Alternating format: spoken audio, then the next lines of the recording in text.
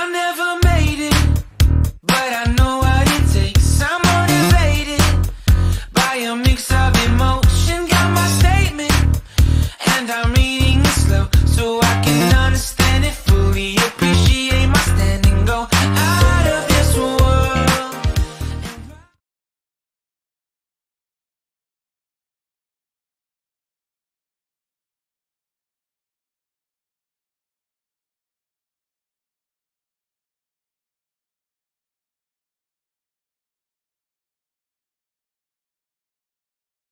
Sis Joy, happy happy birthday po sa'yo. Sorry late na akong nakasend dahil sobra pong busy.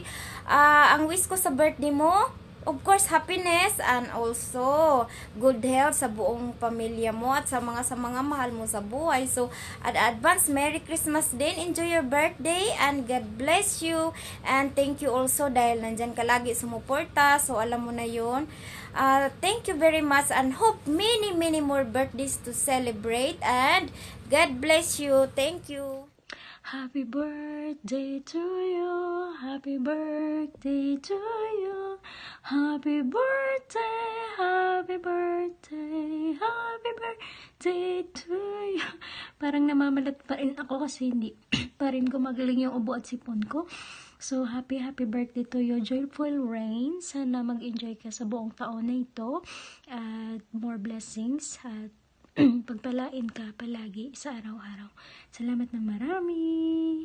Enjoy!